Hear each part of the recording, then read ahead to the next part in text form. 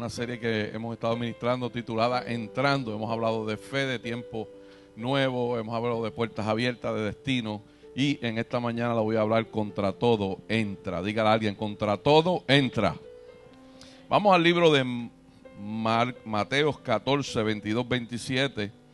Voy a leer una misma escritura desde tres puntos de vista diferentes, porque es necesario que usted entienda cómo eh, los escritores visualizan cada evento.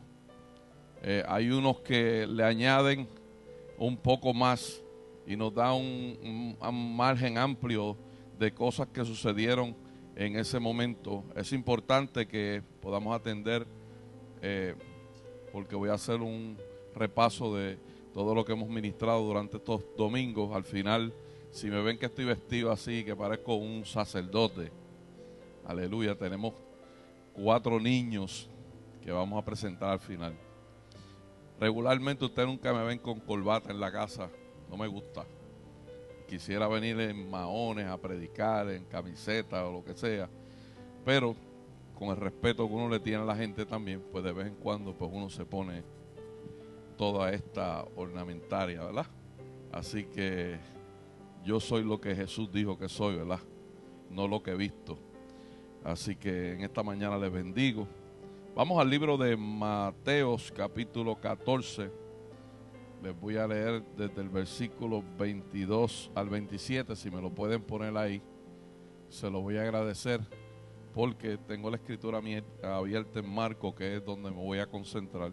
Pero quiero que lea, vaya conmigo a Mateos capítulo 14, versículos 22 al 27 y luego vamos a leer en Juan 6 del 16 al 21 y por ende Marcos 6, 45 al 52. Dice la escritura, enseguida Jesús hizo a sus discípulos entrar a la barca e ir delante de él al otro lado de la ribera. Entre tanto que él despedía a la multitud, despedía a la multitud, subió al monte a orar aparte y cuando ya, ya cuando llegó la noche estaba allí solo. Y ya la barca estaba en medio del mar, azotada por las olas, porque el viento, diga conmigo, era contrario. Repita conmigo, era contrario. Grábese eso. Mas a la cuarta vigilia de la noche, Jesús vino a ellos andando sobre el mar. Versículo 26, y los discípulos viéndole andar sobre el mar se turbaron diciendo, un fantasma, dieron voces de miedo. Pero enseguida Jesús les habló diciendo, tened ánimo, ánimo, yo soy, no temáis. Vamos a Juan 6 del 16 al 21 para que usted vea cómo en, estos tres libros habla de esto desde eh, con un poco de más información. Del 16 al 21, Juan capítulo 6 Dice, al anochecer descendieron sus discípulos al mar y entrando en una barca iban cruzando el mar hacia Capernaum. Y estaba ya oscuro y Jesús no había venido a ellos. Y se levantaba el mar con un gran viento que soplaba. Cuando habían remado como 25 o 30 eh, estadios, vieron a Jesús que andaba sobre el mar y se acercaron a la barca y tuvieron miedo. Mas él les dijo, yo soy, no temáis. Ellos entonces con gusto les recibieron en la barca, la cual llegó enseguida a la tierra a donde iban. En el libro de Marcos, capítulo 6, versículo del 45 al 52, dice de la siguiente manera. Enseguida hizo a sus discípulos entrar en la barca e ir delante de él a Bethsaida en el otro a, la otra ribera, entre tanto que él despedía a la multitud, y después que lo hubo despedido, se fue al monte a orar. Y al venir la noche, la barca estaba en medio del mar, y él solo en tierra. Y viéndole remar con gran fatiga, porque el viento le, le era contrario, cerca de la cuarta vigilia de la noche, vino a ellos andando sobre el mar, y quería adelantárseles. Viéndoles ellos andar sobre el mar, pensaron que era un fantasma y gritaron, porque todos le veían y se turbaron, porque enseguida habló con pero pero él pero enseguida habló con ellos y les dijo, tened ánimo, ánimo, yo soy, no temáis. Voy a leer hasta el 52 y sabía y subió a ellos en la barca y se calmó el viento y ellos se asombraron con gran manera y se maravillaban porque aún no habían entendido lo de los panes por cuanto estaban endurecidos en su corazón. Padre, te doy gracias. Guarda mi corazón, Señor, y que mi corazón hable con justicia y mi boca con sabiduría. Pido, Padre Santo, Señor, que en esta preciosa mañana podamos ser edificados, podamos ser motivados, podamos ser inspirados por la fuente del Espíritu Santo. Pido, Padre Santo, Señor, que tú transformes todo pronóstico. Que tú, Padre Santo, Señor, imparta sobre la vida de cada uno de los hijos de esta casa y sobre cada uno de los visitas, Señor, algo poderoso en su vida que le dé, Padre Santo, Señor, la guianza del 2016. Te doy gracias, gloria y honra, Padre, por esta serie. Te doy gracias por las visitas. Te doy gracias por tu presencia. Yo reduzco mi ser, Señor. Glorifícate. Úsame con poder y que tu nombre sea glorificado en todo, Padre. En el nombre poderoso de Jesucristo. Démosle un aplauso al Señor. Aleluya. Y saludamos a la gente que nos están viendo a través de nuestra página www.ministerioguerrerosdereino.com y Jehová es mi guerrero. Eso es, eso es, eso es. Wilmer, tranquilo. Ah, saludamos a la gente que nos están viendo desde Argentina, también de Santo Domingo, que siempre están conectados. Y a Lili, que nos está viendo también. ¿Dónde vive Lili? En Ecuador, ¿verdad? En el Ecuador. Y Liliana está allá en Argentina. Y los, eh, algunos de los hermanos que están enfermos están en sus casas y otros están viajando en esta mañana. Yo le dije en, tiempos anteriores en la serie que la palabra de Dios es un pacto y es un convenio, ¿verdad? Entre padre e hijos. Le dije y enfaticé mucho de esto porque es, es sumamente importante que usted entienda que si usted entiende ese principio, usted se va a dar cuenta que no importa los tiempos en que nosotros vivamos, Dios va a cumplir su propósito. Es importante que usted entienda que cuando hablamos de pacto, estamos hablando de un Dios que es sumamente serio en lo que Él habla. La palabra nos dice que Él no es hijo de hombre para que mienta, ni hijo de hombre para que se arrepienta. Una vez Dios habla, las cosas son creadas quiero que entienda que cuando Dios creó el cielo y la tierra, dice la escritura que Él descansó. ¿Sabe por qué descansó? Porque ya estaba todo hecho. Cuando Jesús murió en la cruz del Calvario, dijo, está todo terminado, porque Jesús sabía que ya estaba todo terminado. Somos nosotros los que le vamos a dar vida a ese propósito que Dios ha puesto sobre nuestra vida. Y es importante que usted aprenda a entender, es sumamente importante que usted reconozca su posición de hijo. Es sumamente importante que usted reconozca su posición de hijo.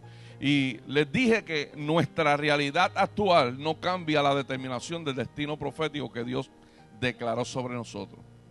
Si usted entiende lo que acabo de decir, usted se va a dar cuenta que aún contra todo pronóstico que venga sobre su vida, Dios va a cumplir su plan. Si Dios va a cumplir su plan, Dios va a cumplir su promesa y si por alguna razón usted entiende y tiene la perfecta convicción en su espíritu de que Dios le habló, tenga seguro que Dios lo va a hacer. Dígale a alguien, lo va a hacer. Y es importante que usted entienda que cada vez que Dios suelta una palabra, Dios sobrenaturalmente lo está conectando con una palabra que está encargada de mantenerlo usted de pie. Vuelvo a decir otra vez, yo no sé ustedes, pero yo puedo confesar que una palabra me, sostiene.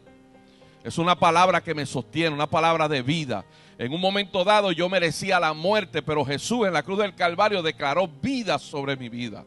Esa gracia infinita de Él, esa gracia poderosa de Él que nos sostiene a nosotros, nos garantiza a nosotros que nosotros estamos sostenidos por la palabra de Él. Ay Dios, estamos sostenidos por la palabra de Él.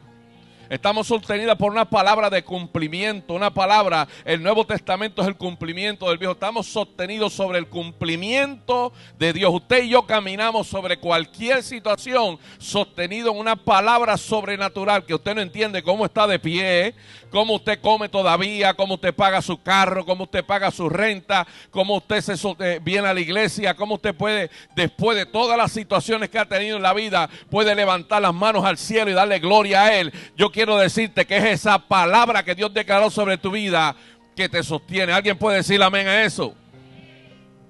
Hablamos de fe y dije que fe es la llave que abre la puerta de los cielos. Escúcheme bien esto. Cuando usted está operando en fe, le dije a ustedes, usted está entrando en la misma atmósfera de gloria de Dios. E, es entrando en la misma atmósfera que Dios creó para usted. Es viendo con sus ojos espirituales lo que sus ojos naturales no pueden percibir.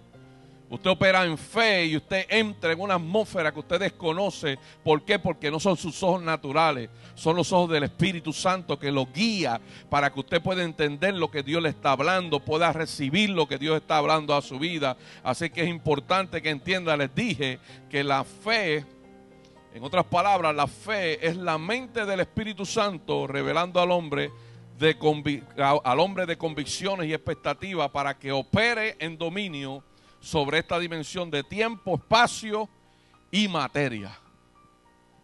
Yo no puedo comprender con mi mente natural como un ex alcohólico, un ex drogadicto, un ex vendedor de droga puede pararse aquí a predicar. Con mi mente natural, permítame decirle que yo no lo entiendo.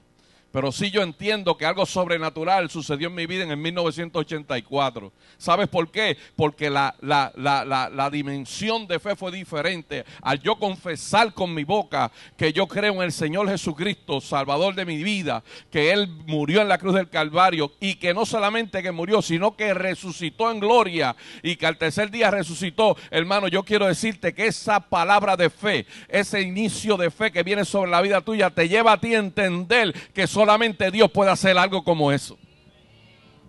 Ay Dios. Es algo que no sabemos explicar. Le hablé de las puertas y le dije que en Juan 10, 10 9, el mismo Jesús dice, yo soy la puerta. El que por mí entrare será salvo y entrará y saldrá y hallará pasto. Le dije también en una de las pasadas intervenciones que hay puertas que se abren, otras Dios las abre y otras tienes que empujarlas. Yo, permítame decirle que yo no creo en los cristianos que necesitan esperar. Tenemos mucha gente esperando que Dios haga la voluntad cuando Dios está esperando que tú hagas tu voluntad.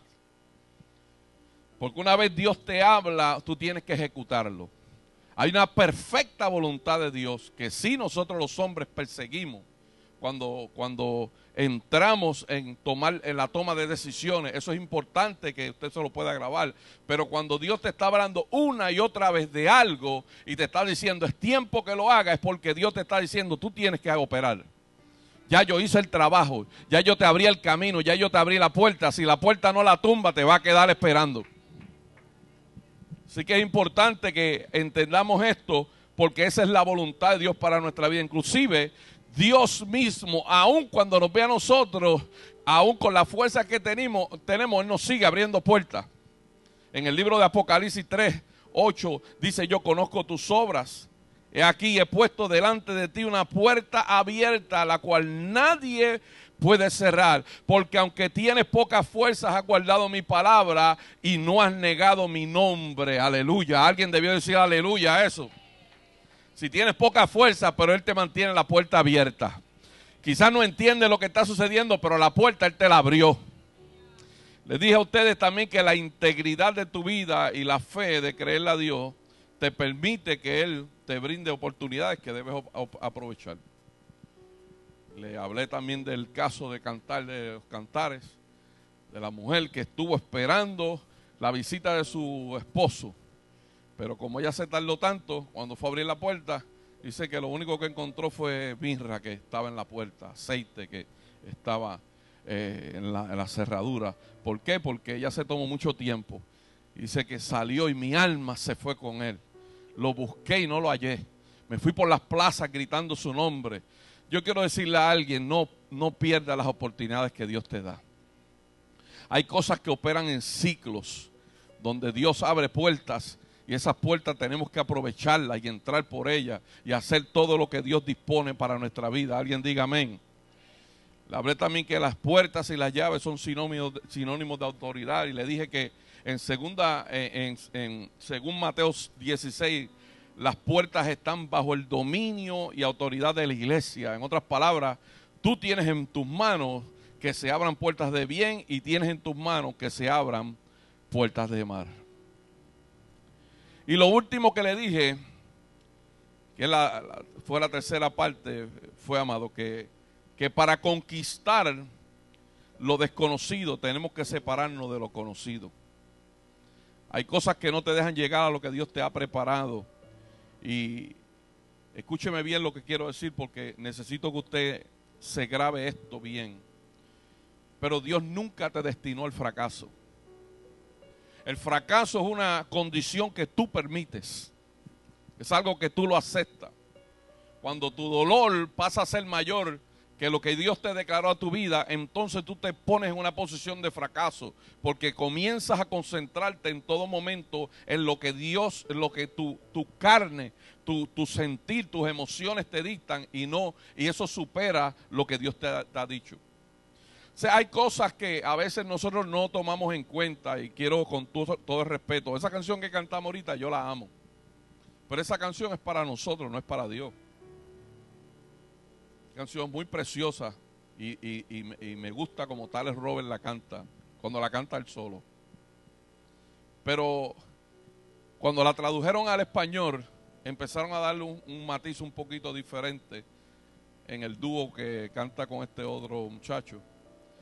Y a veces, esas son canciones que nosotros, no es que son, no sean de Dios, pero es una canción para nosotros, para refrescar nuestra alma, para que nosotros tengamos conciencia de que Dios nos ama. Es importante que usted aprenda a hablarse a sí mismo.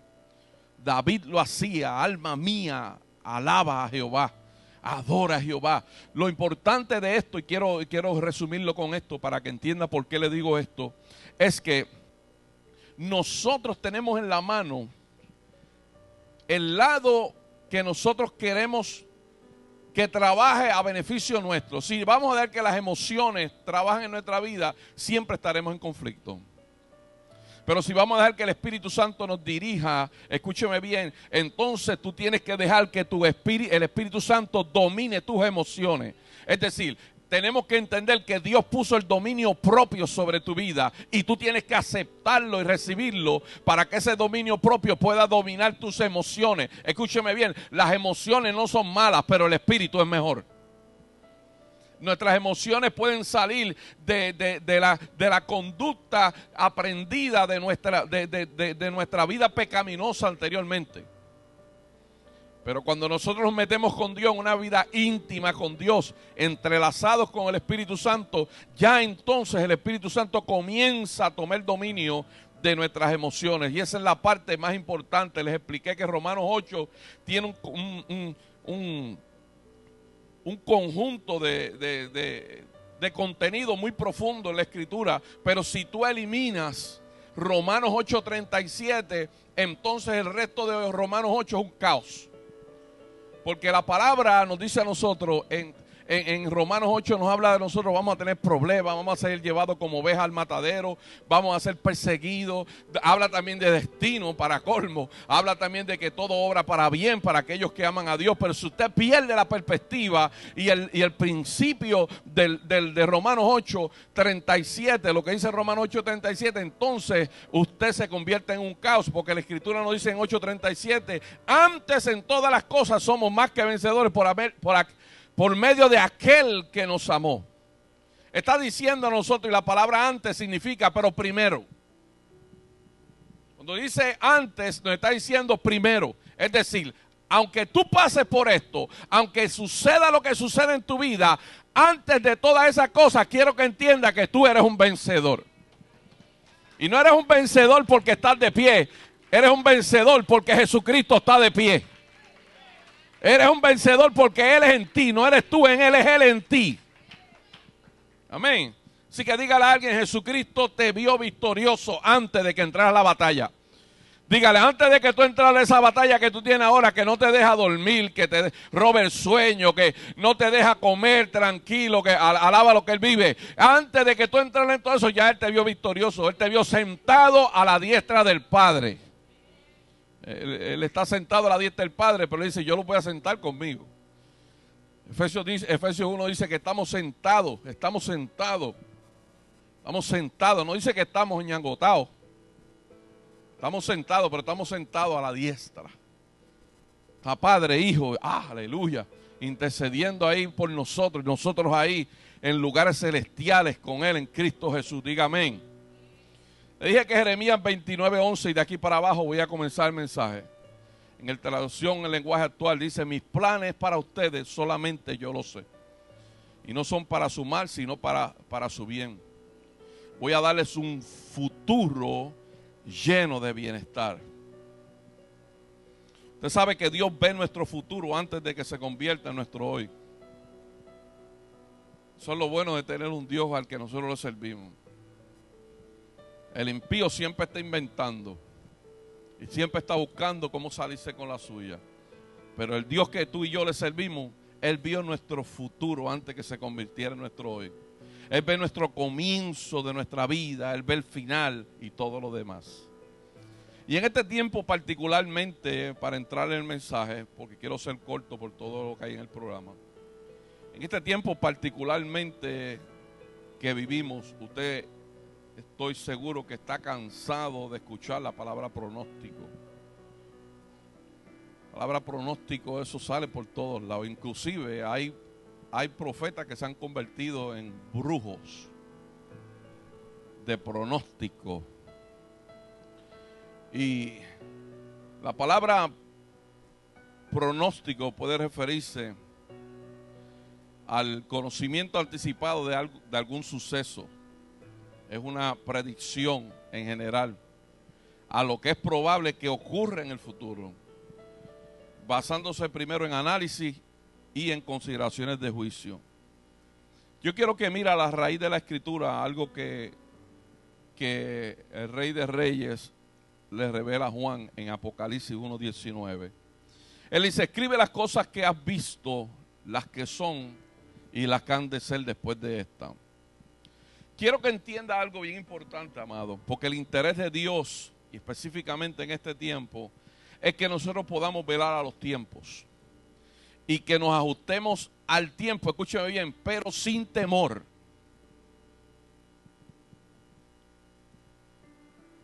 El interés de Dios es que velemos a los tiempos, que nos ajustemos a los tiempos, pero sin miedo. Sin miedo. Usted y yo no debemos tenerle miedo a las malas noticias.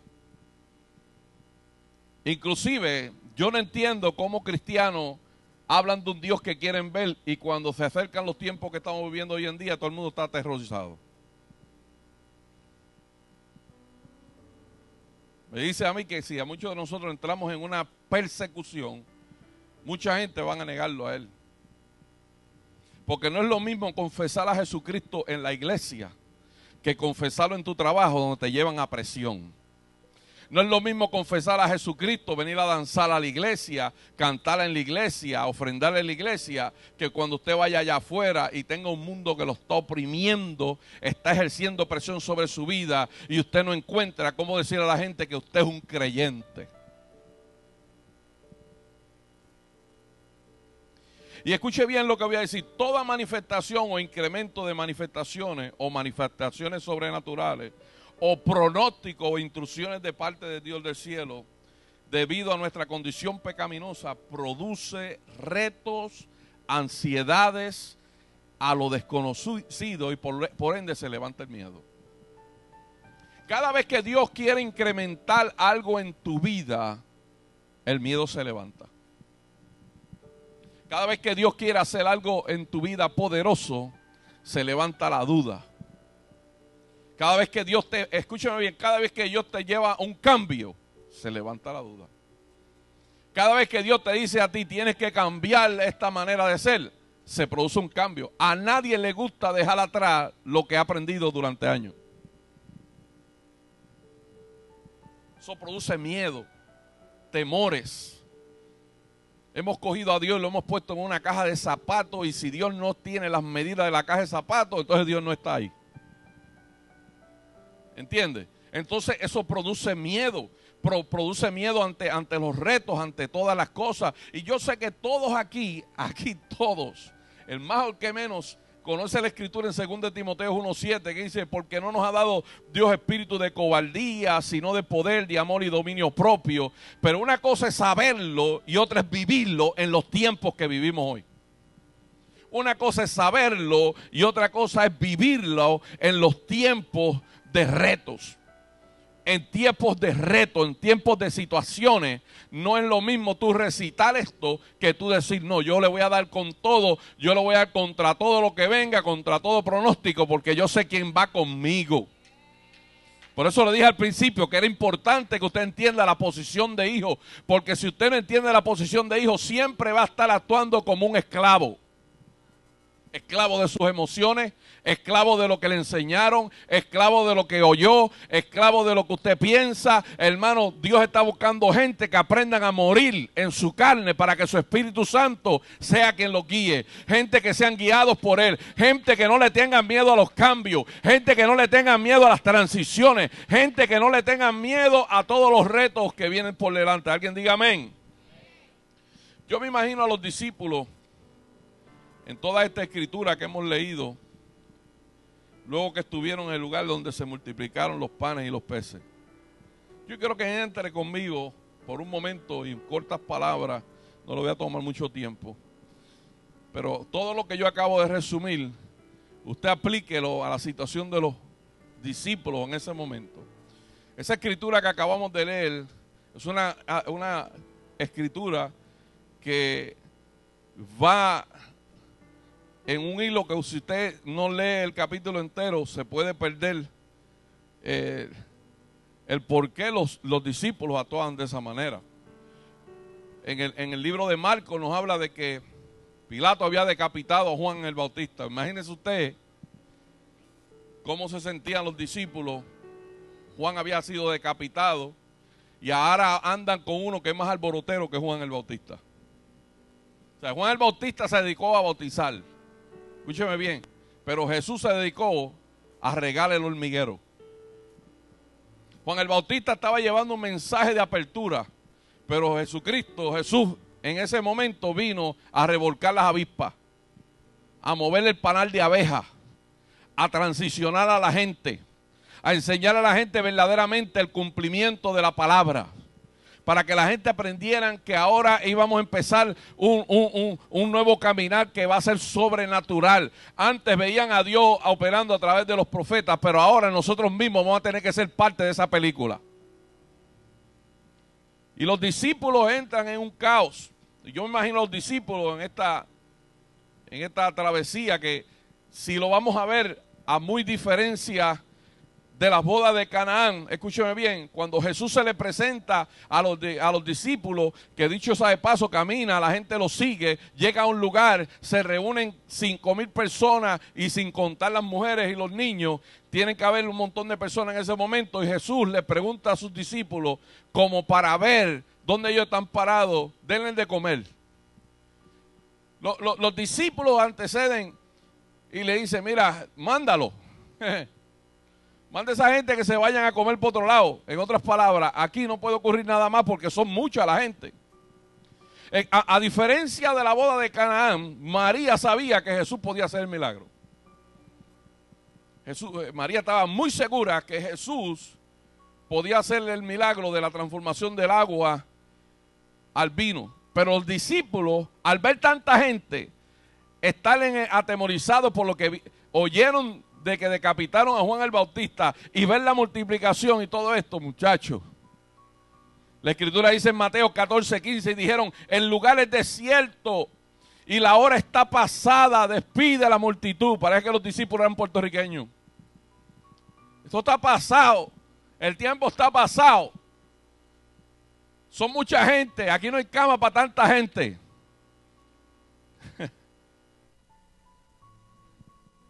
Aleluya. Le dice, en, el lugar es desierto y la hora está pasada, despide a la multitud. Dígale a alguien, Jesús no depende de nuestro tiempo. Dígale a alguien, Jesús no depende de nuestro tiempo, ni de nuestro permiso tampoco. Aleluya. Escúcheme bien, un hombre como Jesús, que conoce su asignación, es un hombre que, que camina contra todo pronóstico. Y esto es lo que quiero que entienda de aquí para abajo. Un hombre que conoce su asignación es un hombre que camina contra todo pronóstico. Sabe para dónde va, sabe a, a, quién acudir, camina en contra de los vientos, sobre las circunstancias y escúcheme bien, sobre todo es un transformador de atmósfera. Escúcheme bien, amado, escúcheme bien, porque quiero que, que, usted relacione todo esto con la vida de Jesús, pero también quiero que lo relacione con su vida personal.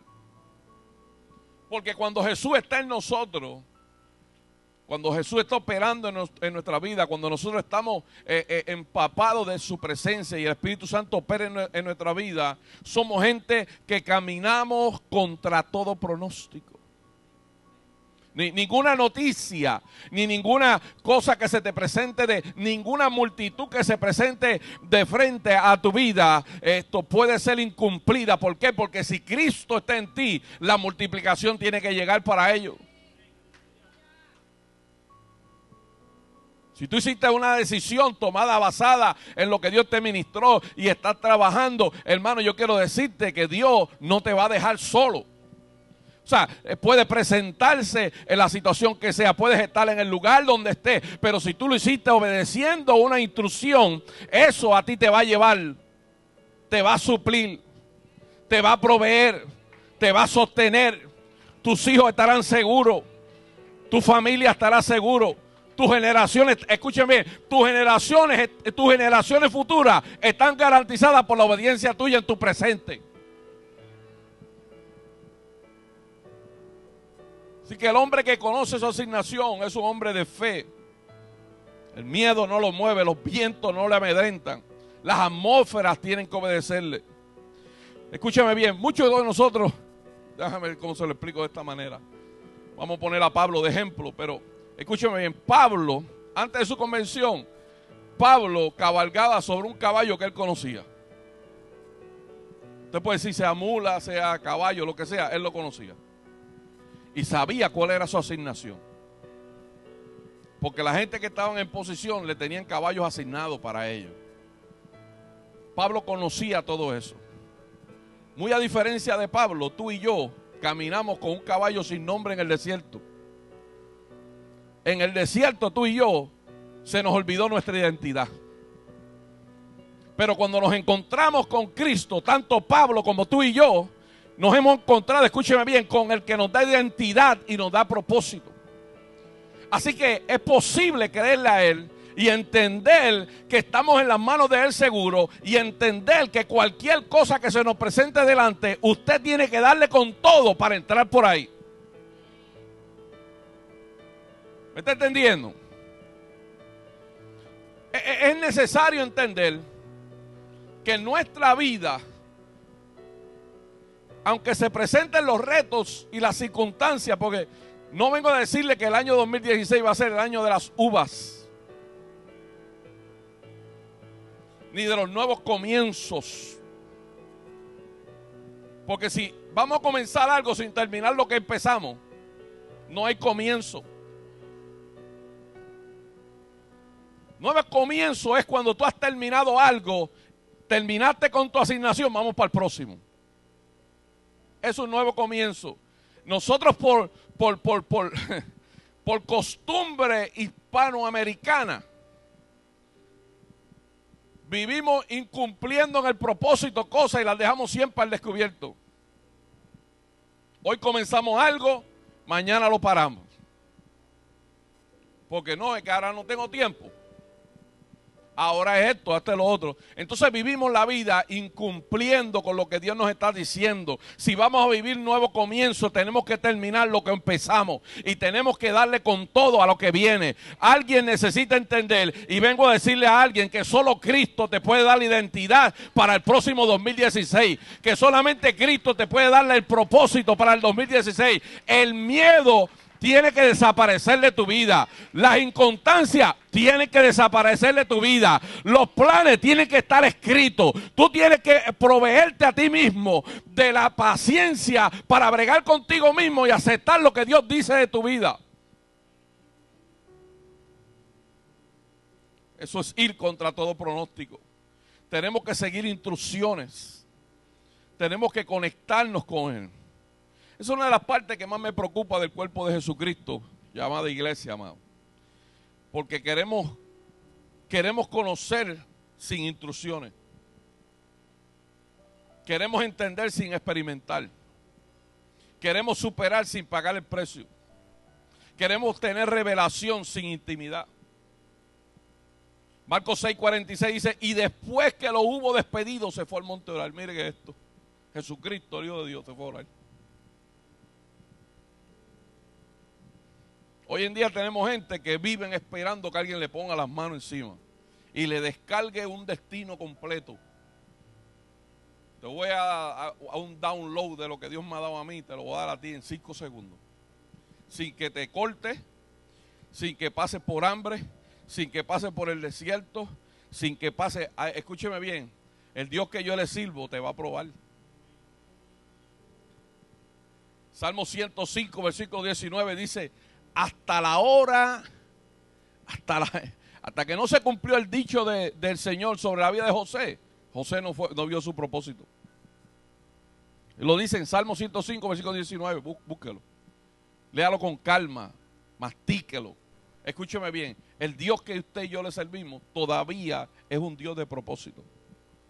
El camino, escucha bien, la gracia de Dios a nosotros nos empodera para lograr lo que no podemos lograr en la carne nos cubre, nos lleva, nos abre el camino, nos pone en posiciones que no merecemos. Eso es lo que hace la gracia. Pero el propósito de Dios te tiene que llevar a ti, aprovechar lo que Él es, el camino que Él te abrió a ti, para que tú puedas llegar a tu destino profético. Para que tú puedas caminar a lo que Él está destinando. Y escúcheme bien, a mí me gusta cuando dice aquí que Jesús los despidió. Dijo, espérate, esto sucedió ahora, una multiplicación. Como esto no tiene que ver conmigo, tiene que ver con mi Padre. Voy a honrar a mi Padre.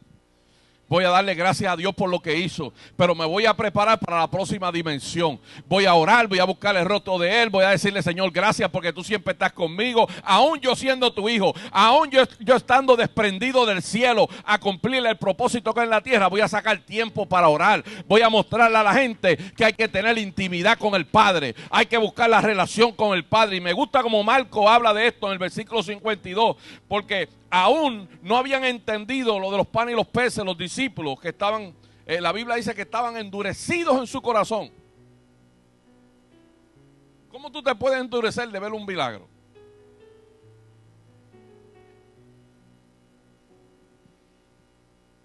En vez de alegrarse y correr para el próximo, para el próximo nivel, la Biblia dice que se endureció el corazón de ellos.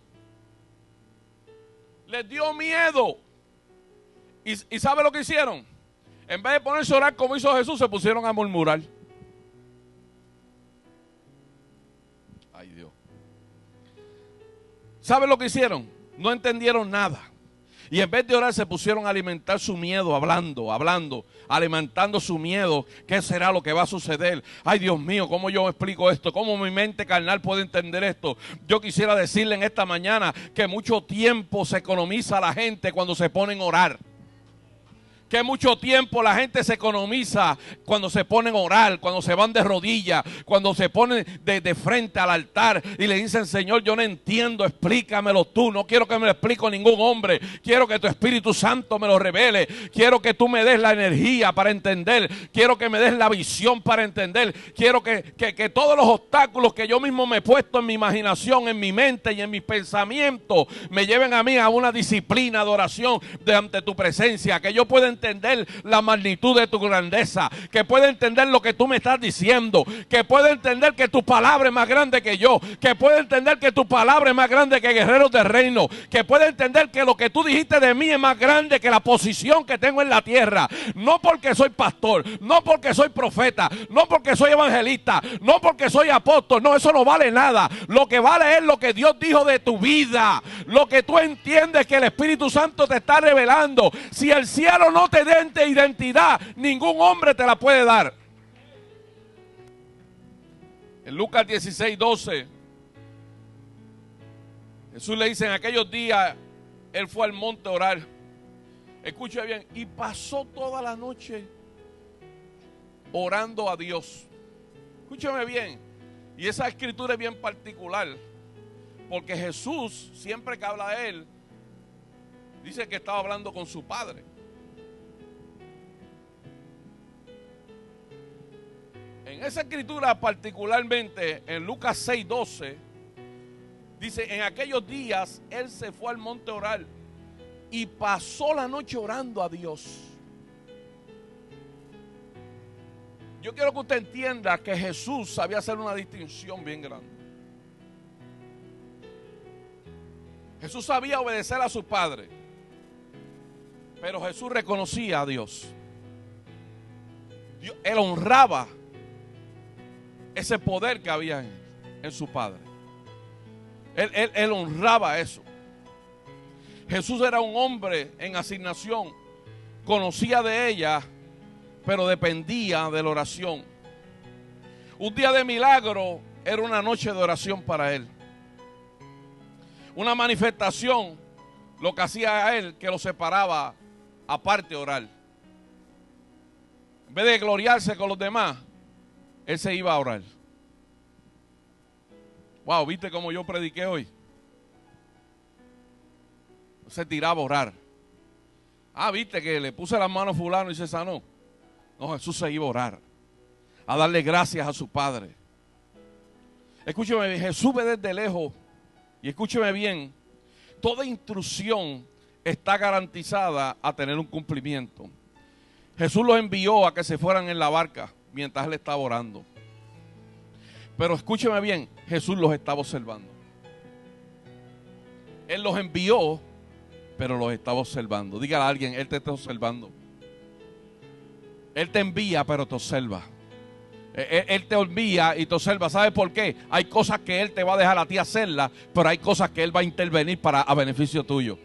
Él sabe que tú y yo no lo podemos hacer todo, pero Él va a intervenir en muchos momentos de la vida para que tú no te vuelvas loquito, ni te vuelvas loquita, ni se te vaya el melón. Él va a intervenir, va a estar ahí presente, Él va a estar observando. Le diga a alguien, el Señor vela por ti. Diga, Él está velando por ti. Eso quiere decir que en tu desierto Él está ahí contigo. Cuando pases por las aguas, Él va a estar contigo. Cuando pases por el fuego, también va a estar contigo. Él no te va a dar solo en ninguna circunstancia de tu vida. Y en el 2016, si estás rompiéndote la cabeza de lo que va a suceder ahora, quiero decirte y a traerte noticias que Él también va a estar contigo. Va a estar velando por ti. Va a estar delante de ti. Él está peleando por ti. Aprendamos a entrar con todo, amado. Acá viene Jesús, luego de orar. Llévala al cuartito. Acá viene Jesús luego de orar y ver de lejos a sus discípulos perturbados por lo que vieron y por lo que están viviendo. Escucha bien, porque esas son las cosas que me llevan a mí a amar a Jesús. Son las cosas que a mí me, me, me, me atan pero de manera positiva, amar a mi Cristo. mis hijos están en problemas, voy a rescatarlos. Eso es lo que está diciendo Jesús. Jesús los está observando de lejos. Y está viendo a ver hasta dónde ellos están dispuestos a. Escúcheme bien. Él les dio una instrucción de. Por eso me gusta leer las tres versiones. Porque cuando Jesús te dice algo, te está garantizando que tú vas a llegar al otro lado. Si, si yo leo, Marcos y, leo Mateo y no leo Juan, por algún momento dado me puedo perder de que ellos llegaron al otro lado. Porque solamente en un capítulo dice que ellos llegaron al otro lado. En otro capítulo dice Jesús se montó en la, en la barca y al montarse en la barca los discípulos lo abrazaron y la tempestad esto paró. En otros discípulos dice que Él mandó a callar a la tempestad. Pero escúcheme bien, Él va a intervenir en tu vida en momentos críticos porque Él sabe que Él te está viendo. Y Él va a salir a rescatarte. La Biblia dice en Marcos que los vientos eran contrarios, diga, eran contrarios. Pero Jesús viene en contra de todo pronóstico. ¿Sabe por qué? Porque no importa lo que suceda, Él sabe lo que Él está destinado a hacer. Y Él lo que sabe hacer es voy a caminar contra todo pronóstico, pero voy a llegar porque la palabra mía le garantizó a ellos que va a llegar. Ahora, te pregunto yo a ti, ¿tú estás dispuesto a ser ese hombre o esa mujer que Dios quiere y espera que tú seas, que puedas entender y puedas caminar por fe y puedas caminar bajo toda circunstancia, creyendo a una palabra de instrucción que Él te dio para que tú puedas llegar al destino tuyo y lo que, lo que, te, lo que te espera en el 2016? Jesús se paró del lugar donde estaba, vio a sus hijos y a él no le importó que los vientos eran contrarios. Yo estoy seguro que tú y yo sí nos atemorizamos por los vientos contrarios. Tan pronto llega un vientito, vamos a sacar la tormentera.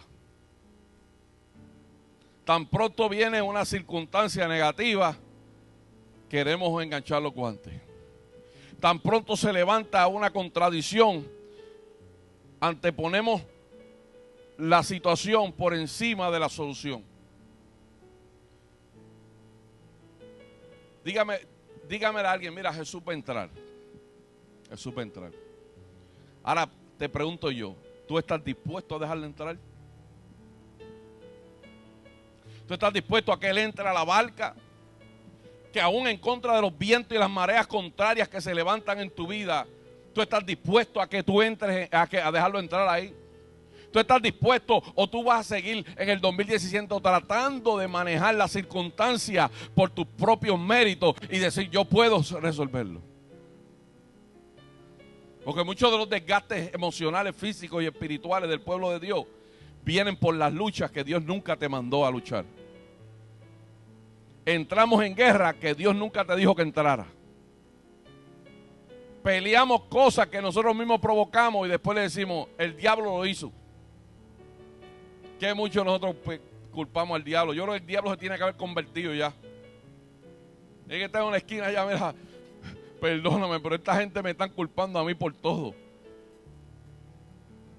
Imagínese usted que cuando usted se muera, en vez de que sea el, el juicio en el juez sea Dios, le pongan al diablo de frente. Ese sí que nos va a mandar para el infierno. Porque cuando se acuerde de todas las veces que tú lo acusaste a él, que tú me acusaste a mí por esto, eso lo fui yo. Y nosotros culpándolo todo el tiempo. ¿Sabe por qué? Porque mientras nosotros no podamos asumir la responsabilidad que nos corresponde a nosotros, siempre tenemos que buscar un culpable. Jesús quiere entrar en tu barca. Yo voy a terminar con esto. El mensaje no termina ahí. Pero yo pienso que aquí hay gente que necesitan entender que todo lo que ha acontecido en los últimos tiempos no tiene que ver nada con el diablo. A veces Dios mismo provoca eventos. Y tú me dices, ah, pero Dios es malo. No, Dios no es malo. Dios lo que quiere es que tú te pares. Dios lo que quiere es que tú entiendas que Él es la única solución de tu vida. Dios lo que quiere que tú entiendas que sin Él no somos nada.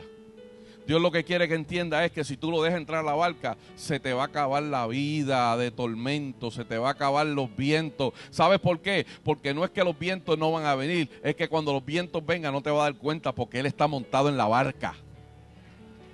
La Biblia dice que dentro, que Él se montó y ellos no se concentraron más en los vientos. Las atmósferas cambiaron. Las, atmósferas cambiaron. Yo no sé que ustedes se han, puesto a pensar en esto, pero yo lo he vivido. Yo he pasado por el Bobman Bridge y la mitad del puente está lloviendo y la otra está haciendo sol.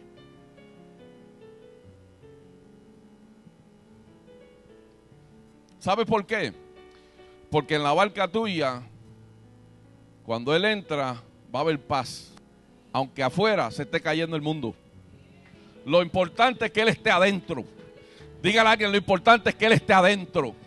Así que en este año yo te reto a ti a que tú dejes que Él se monte en tu barca, que Él maneje tu barca, que tú te sometas a Él como jamás y nunca, que tú aprendas a seguir las instrucciones que solamente el capitán y marinero te puede dar para que tú llegues seguro a tu destino profético, que tú puedas decirle a Él, Señor, yo me rindo, tú me guías. Señor, tú eres el que me va a proveer, yo confío en ti. Señor, tú lo dijiste, yo sé que tú lo vas a cumplir. Alguien estará dispuesto a caminar contra todo pronóstico, pero está dispuesto a caminar contra todo para entrar en el 2016 y de decirle al 2016, yo soy más grande que tú. Porque si el 2016 es tan grande que tú te conviertes en una hormiga, entonces ten cuidado que te pueden pisar. Pero ve grande el 2016. Ve con la grandeza de Dios ve con el capitán de capitanes, ve con el sargento de sargento, ve con el que pelea la pelea por ti, ve con el guerrero mayor, ve con el que te va a abrir el camino, confía en él, porque él es el que va a ser. Cierre sus ojos.